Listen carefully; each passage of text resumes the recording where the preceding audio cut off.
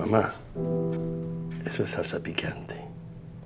Lo que vos queréis es azúcar.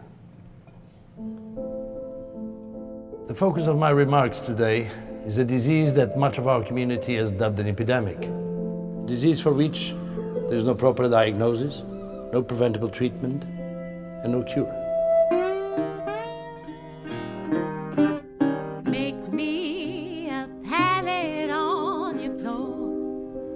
I saw the most interesting performance today.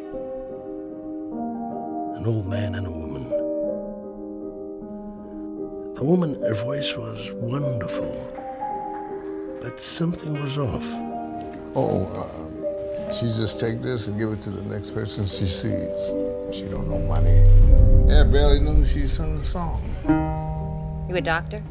I'm a scientist, I do research. Oh, so you want to study her? Sometimes She has delusions, like a mother. followed by moments of clarity. Truth be told, But you done it? she's right. I had me some schooling too now. from home. One moment she's smiling, long, and then she's gone again. long way. But she seems to be hanging on through her music. I don't know. How come she remembers a club that opened in 1958? But not me. My mother had Alzheimer's, and that's what the Una Vida has. She done more for me than the other way around. Can you help her, Doc? Why would you bring her here without talking to me first? It's the right thing. She can't be in a place like that.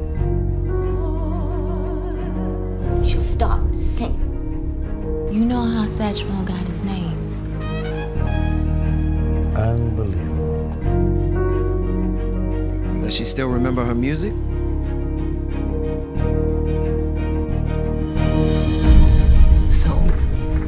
Him Satchmo. How'd you know that story?